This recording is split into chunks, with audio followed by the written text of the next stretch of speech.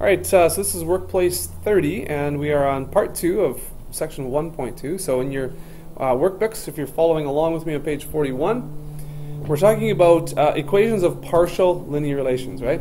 So we've been talking about uh, direct linear relations, and the direct linear relations would be y equals mx, right? You remember that from the last lesson? Now, partial linear relations are very, very similar. They're y equals mx, and then there's a plus b there. Okay? Now, this one is when we really have a y-intercept of 0. So it's kind of like adding 0. y equals mx plus 0 is the same as y equals mx, right?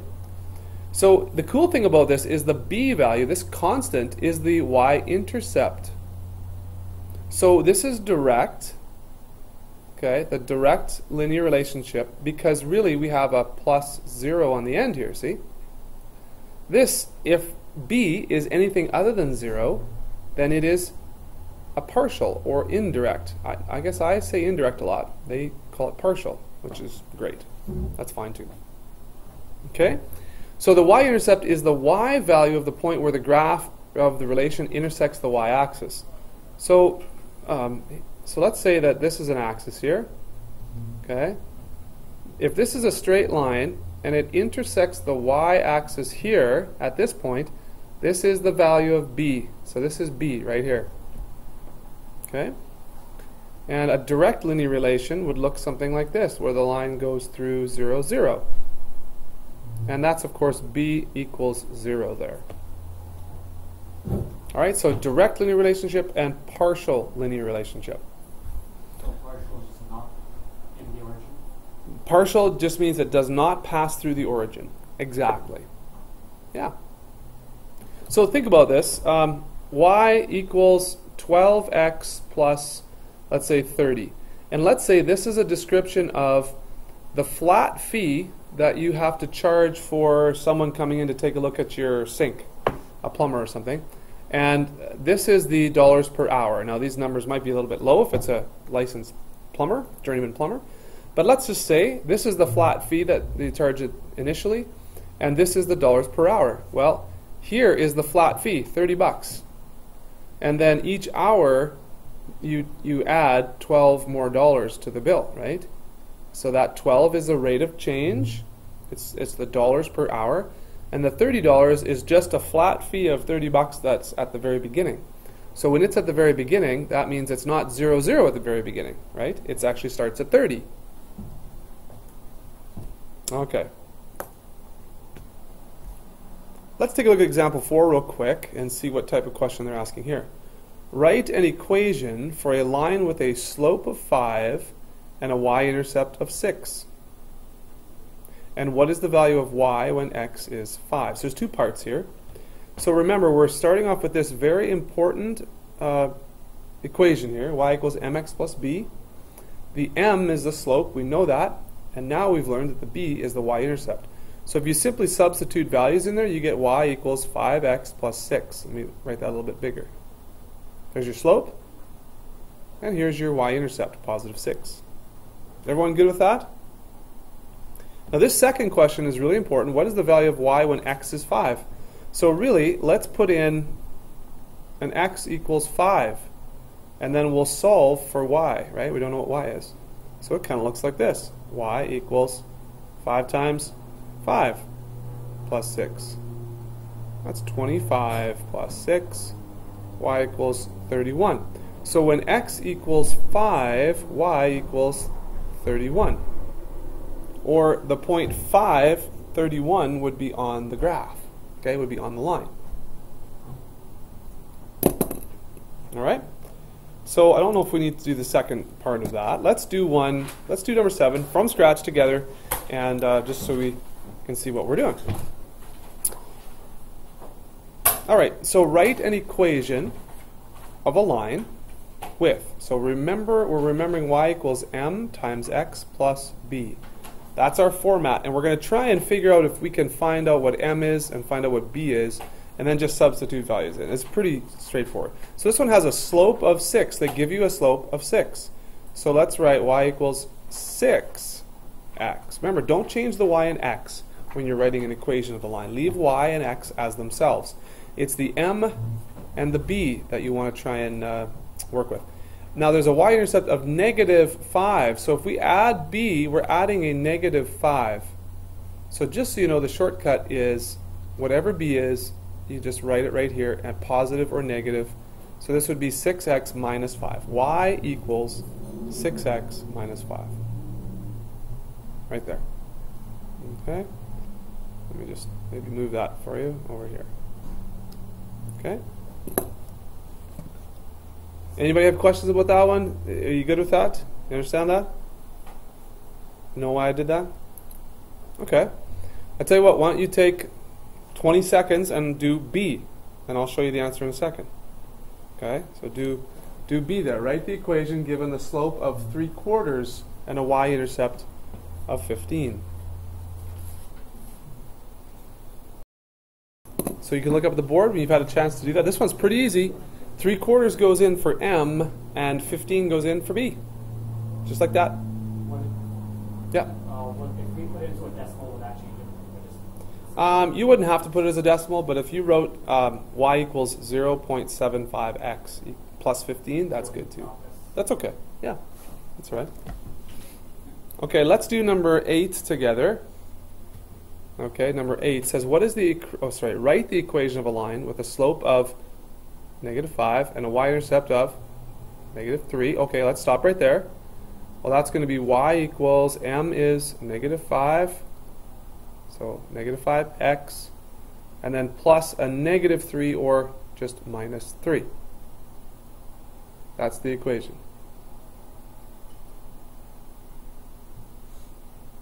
What is the value of y when x is 3? Well, we did one just like that as well. So x, when x equals 3, I'm going to do this right here. y equals negative 5 times 3 minus 3. I'm just going to substitute that in, and I'm going to get y equals, see, negative 5 times 3 is negative 15 minus 3, y equals negative 18. So there's our two pieces, or the two answers to this question number 8.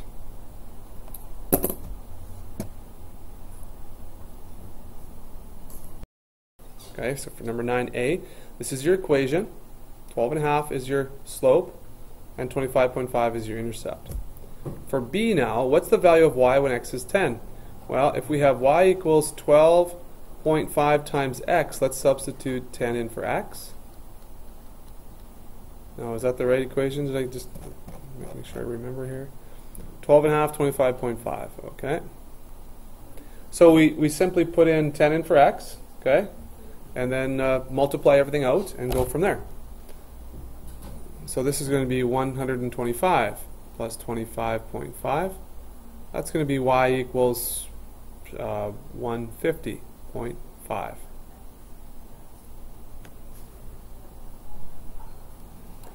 Okay, so I, I don't know if many of you are at this stage yet, but um, again, if we, okay, so for this last one actually, what's the value of x? So that's what we don't know. We don't know what x is when y is 213. So you put 213 in place of the y here. See that? And then you don't know what x is, so you leave x as unknown. 25.5. So that's how you set up letter C. Okay? So I'm going to leave I'm going to leave that with you for C. If you want another minute to finish that because I think some of you aren't done that. But you guys finish that on your own then we'll talk about example 5 in a minute, okay? So moving on here, example 5 uh, is another type of question, and we'll take a look at example 5 here. It says Vikram is planning a banquet dinner. The caterer charges a flat fee of $150. Okay, that's pretty important, a flat fee. That's where the that's where the charges begin. Flat fee of 150 and then $420 for every 10 people. That that seems to be like a rate. That seems to be like it might be a slope. Hey? Flat fee seems to me like that's going to be a B value. Uh, dollars per person, that seems to me like it's going to be a slope. All right, so that's what you want to identify here. Now, what they've asked you to do here, and again, we won't do this, but we'll just take a look at their solution. But if you were to make a table of values representing the cost of 10, 20, 30, 40, or 50 people, then this is what you would do. You would take $450, whoops, 150, sorry, flat fee.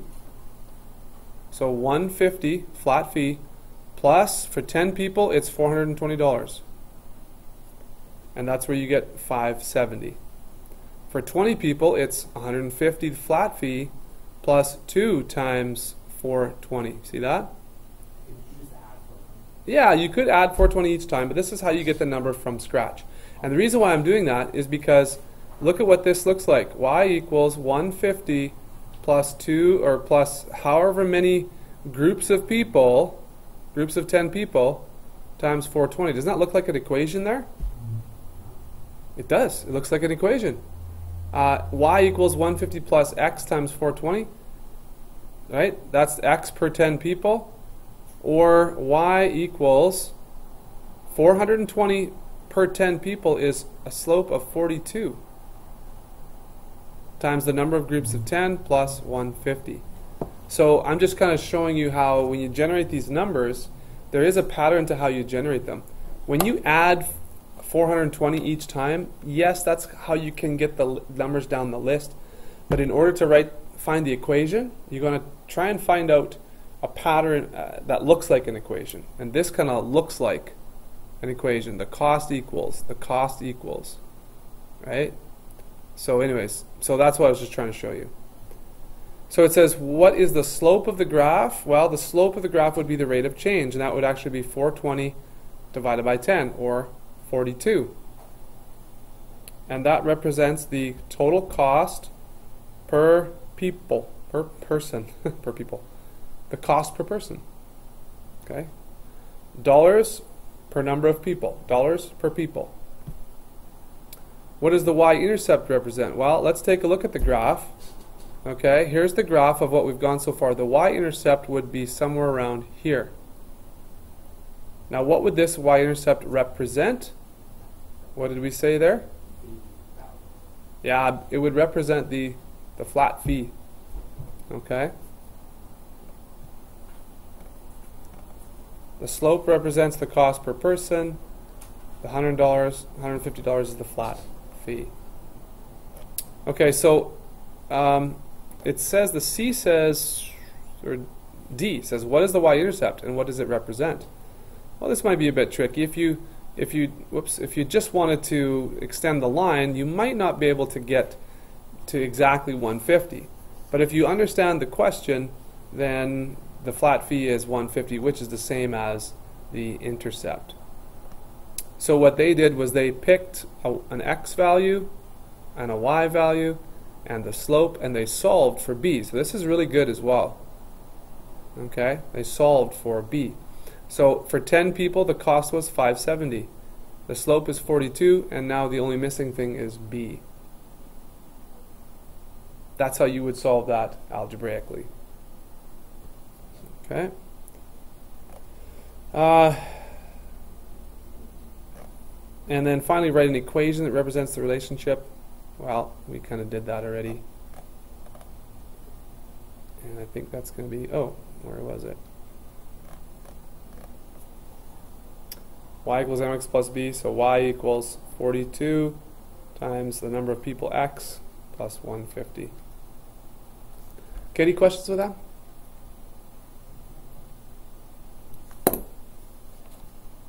Okay.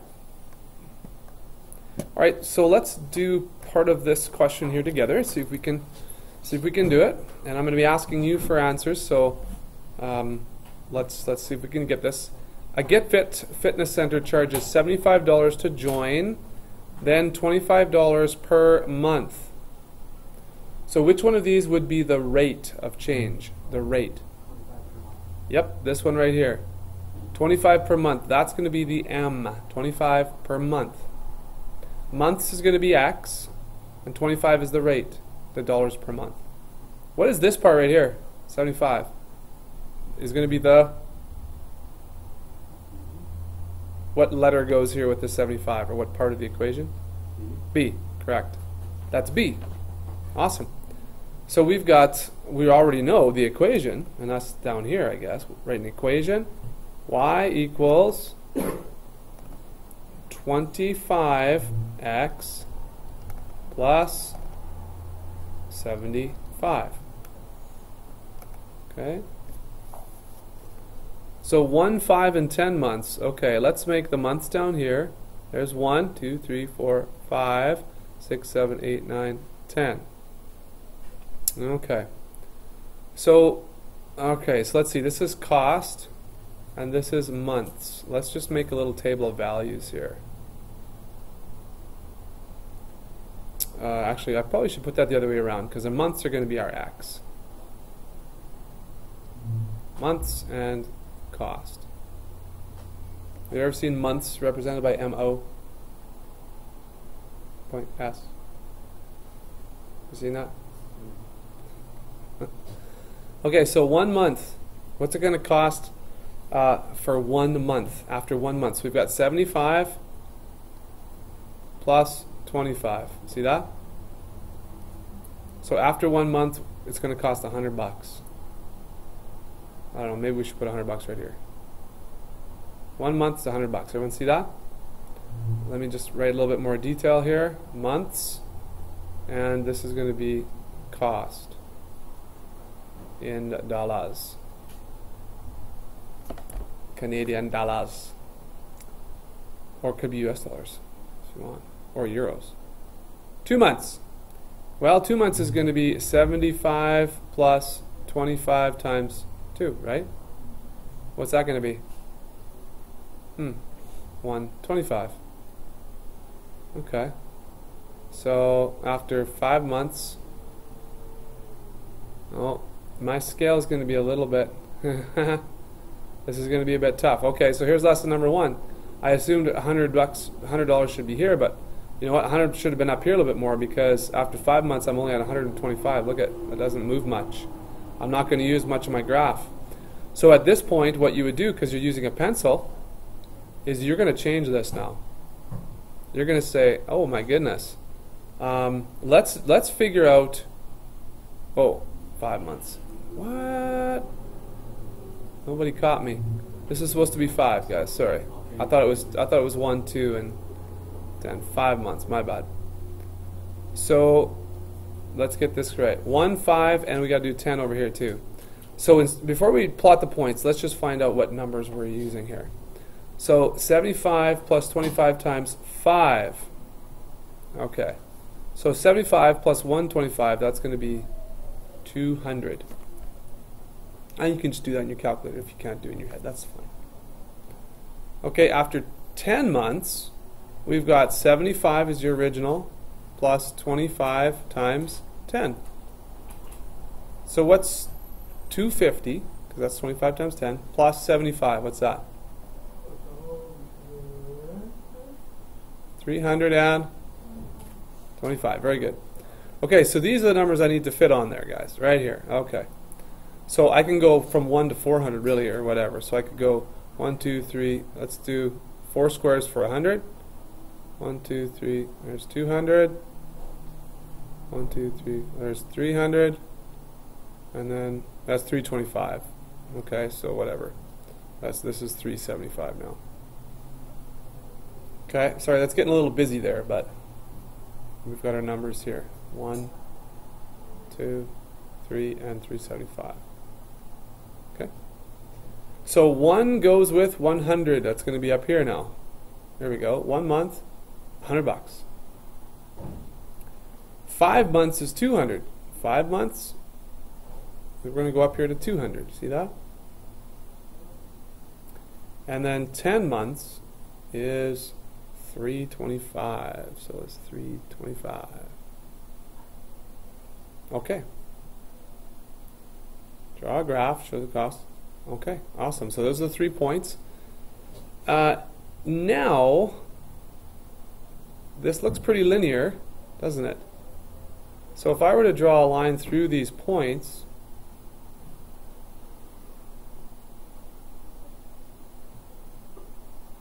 kind of want to, there we go. Okay, awesome. Oh, that's perfect. See, now look at where does this line end up hitting the y axis? 25, 50, boom. 75. See that? So this is a partial linear relation. We have a y-intercept that's not 0, 0. We have a y-intercept that's 75, which represents the money you owe before you've spent any time at the gym.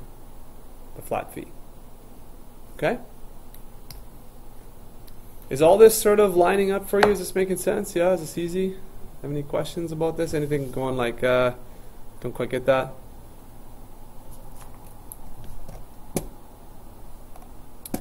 All right, nine months. So how do we figure this out? Well, what you can do is you can say, hey, where's nine? Well, nine is right here.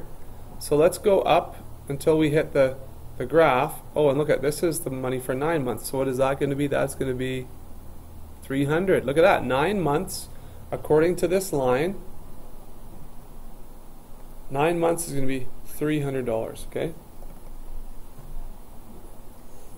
And that's straight from our graph. You showed your work there on the graph. All right? Okay. So that's that's it for that question, I guess.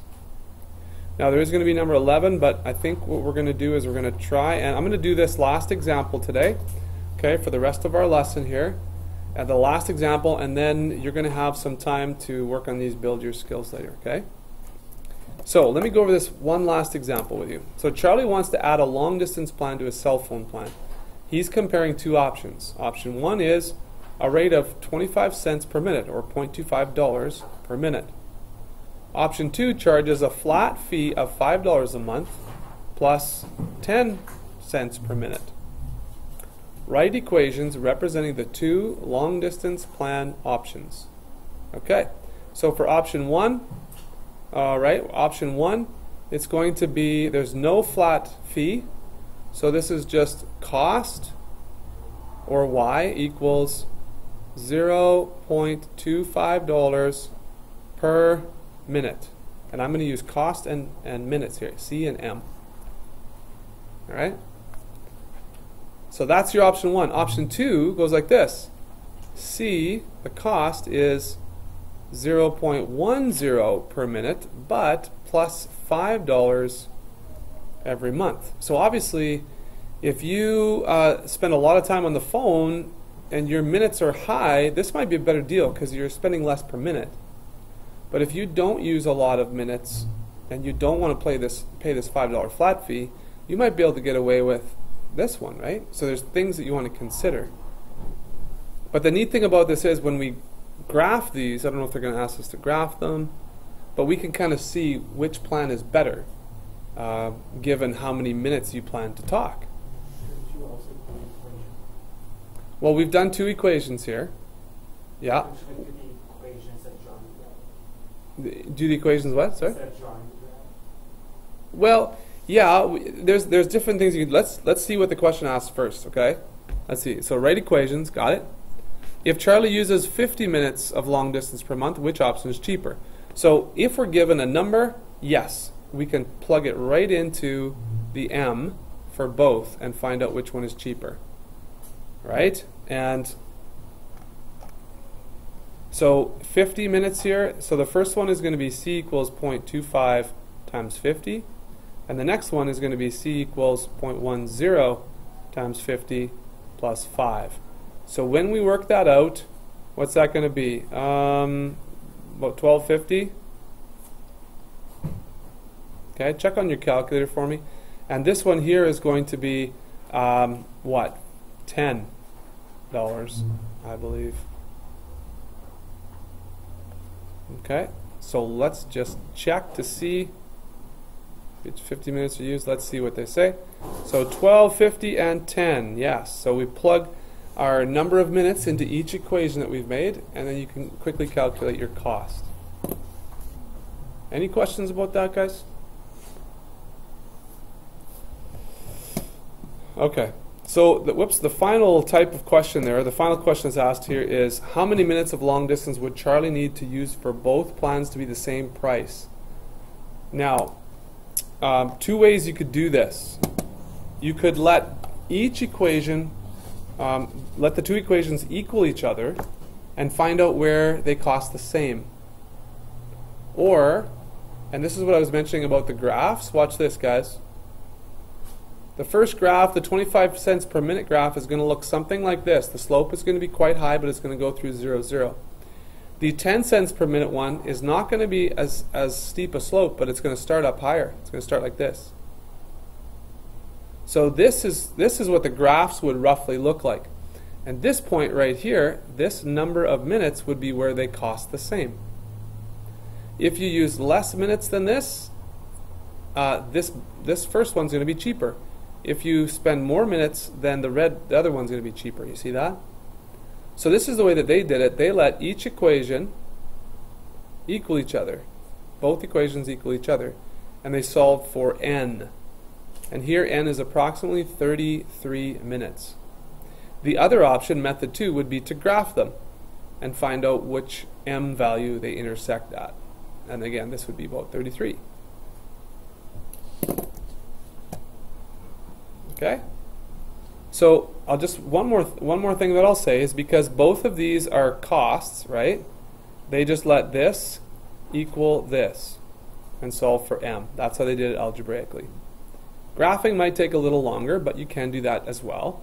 You can plot the points and connect the line, connect the dots, and then wherever they intersect, that x value, or in this case m value, would be the number of minutes where they both cost the same because at, this is the cost for both of them at that exact minute. Okay? Any questions?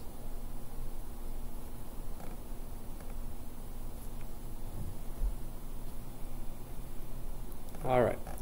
Well, let's um, whoops. Let's just take a look at 13 together here. I'll, I'll get you started off on this one. Okay, 13.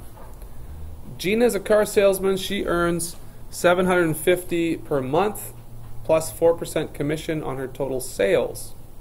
Complete the following table showing Gina's income based on the following sales totals. So she makes uh, 750 per month plus 4% on her sales. So the earnings over here would be 750 plus $10,000 worth of sales times the decimal form of 4%. And this, the next one would be very similar, except you use the different value now. Same 4%.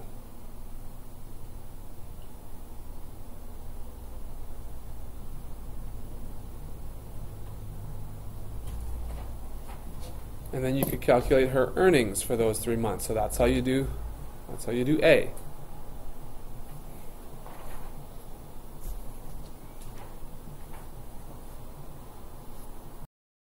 All right, so let's take a look at B together. Hopefully you filled up those numbers for that chart. Let's take a look at B. It says write an equation that shows the relationship between Gina's income and her total sales. Okay, so we have y equals mx plus b. What's the slope? What's the slope? So look again at our calculations here. What's the slope? What uh, what part of this these equations would be the slope? Do you think? Anybody? The slope seven fifty. Uh, the slope is 750. Do you know, it does look like it does look like this is a rate. I'll I'll agree. But this is more like a flat fee every month. Like it's a flat, it's a, just a base amount, right? So a base salary. See, look at this. See, this is the B here. That's the B. This is the M. That's the slope. That's the rate. It's 4% is the rate. So if you look at this, it's kind of like, you know, the, a dollar value times, or actually we should write it like this. This will look more familiar. A rate times a dollar value, and then plus the base salary. See, now it kind of looks like y equals mx plus b, right? That's what I was getting at. So m is 0.04. The b would be the 750, the base salary per month, which really isn't much, is it? It's really not much at all. So the equation then is y equals 0.04x plus 750.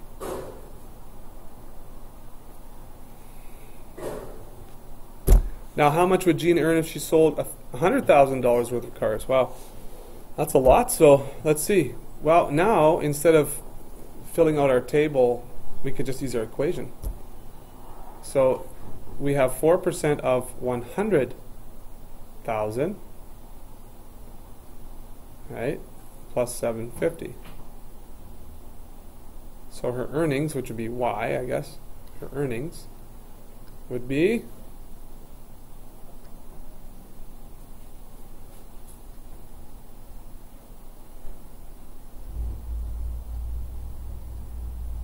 So 4,750. So that's her earnings she sold $100,000 worth of cars. And now D, okay, D says this if her basic salary was reduced to $600, but her commission was raised to 5%, would Gina make more or less on the $100,000 in sales? Well, we could pretty easily and quickly make a new equation. What does the new equation with this these values look like? Here's the old equation for her earnings. What's the new one look like? Anybody? What do I write here? You guys know over here? Y equals 6%. Well, this is actually it's this is five percent. So this is point zero five x, and then plus. What would this be? Plus what? Plus six hundred. Yeah, plus 600 would be her base Sorry, Very good. So that's the equation. And of course, if we put $100,000 in here, you're going to get what she would earn. Right? So we put this 100,000 in for X. Okay? So I think you can take the rest on your own there.